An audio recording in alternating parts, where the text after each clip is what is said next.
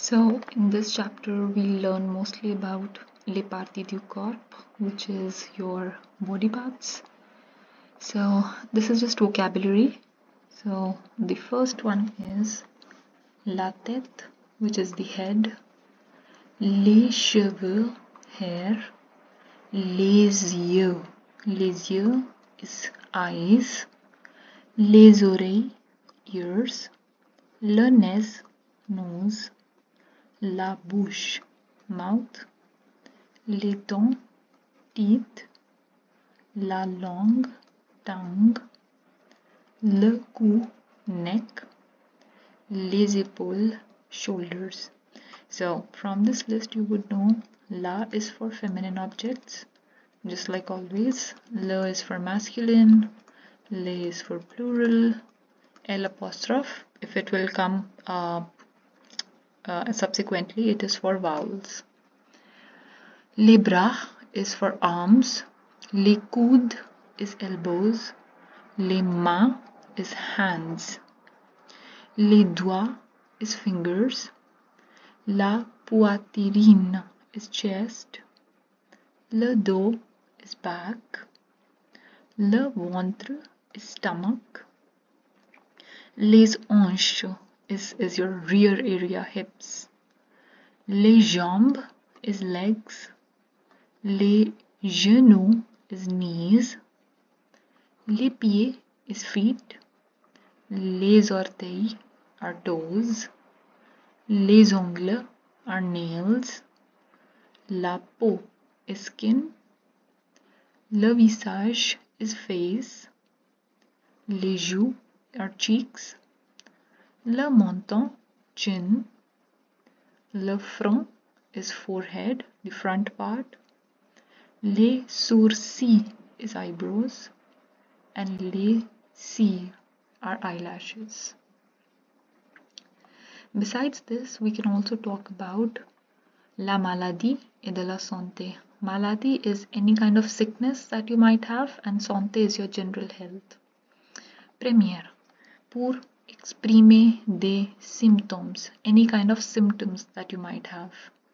J'ai mal à la tête, I have a headache. J'ai mal à la gorge, I have a sore throat, or I have a pain in my throat. J'ai de la fièvre. I have a fever. J'ai mal au ventre. I have a stomach ache. J'ai de la toux. I have a cough. J'ai le nez qui coule. I have a runny nose. J'ai des courbatures. I have body aches.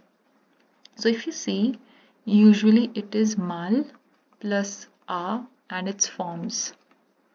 So forms means if the body part is masculine, it will become mal o. If the body part is feminine, it would become mal ala. Plural body parts, mal o. And body parts that begin with vowel, mal a l apostrophe. So mal a l. Avoir, mal a and then some body part. If you want to décrire des sensations, feelings, je me sens fatigué. I feel, this is the verb sens, which is sentir. How do you feel? Je me sens fatigué. I feel tired. If you are a girl, put an extra E. Je me sens faible. I feel weak. Je me sens étourdi. I feel dizzy. Je me sens nauséeux, nauséeuse. I feel nauseous. Je me sens fièvre, fiévreuse. You can simply say uh, j'ai de la fièvre. That is also fine. I feel feverish, fiévreux, fiévreuse.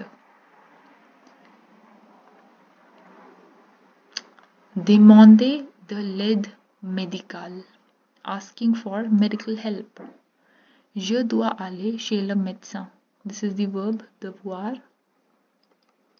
So I should go or I need to go to the doctor. Le médecin. Je vais prendre un rendez-vous chez le médecin. I'm going to take an appointment at the doctor's. Je dois aller à l'hôpital.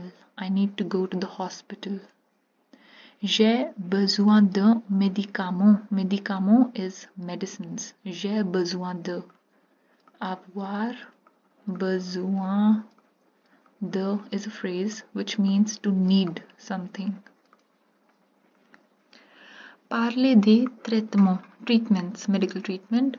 Je prends des médicaments. I'm taking. The verb here is prendre. Le médecin m'a prescrit des antibiotiques. The doctor has prescribed me some antibiotics. Je dois me reposer. Verb. Je dois me reposer. I need to rest. Je dois boire beaucoup d'eau. I need to drink a lot of water. Je dois suivre un régime alimentaire spécial. I need to follow a special diet. And then you have some general expressions. Être en bonne santé, to be in good health. Je suis en bonne santé, I am in good health. Être en mauvaise santé, to be in bad health or poor health.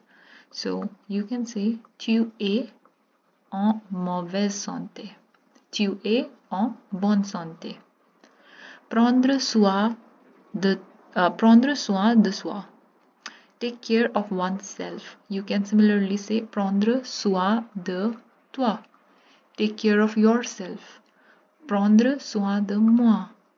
Taking care of myself. Prendre soin de nous.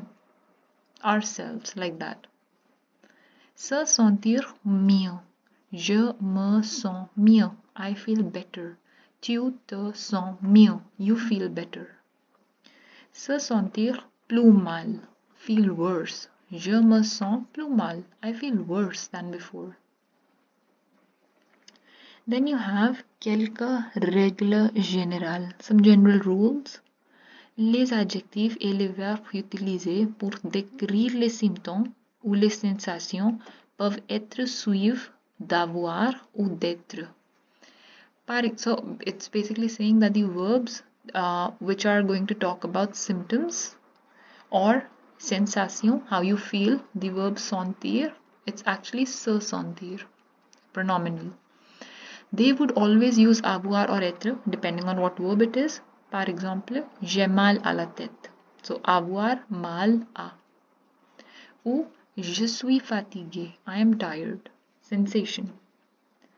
Pour décrire les parties du corps affectées, utilisez à mal à la tête or du mal du ventre. Utilisez le présent de l'indicatif pour décrire les symptômes actuels. Actuel means current or now.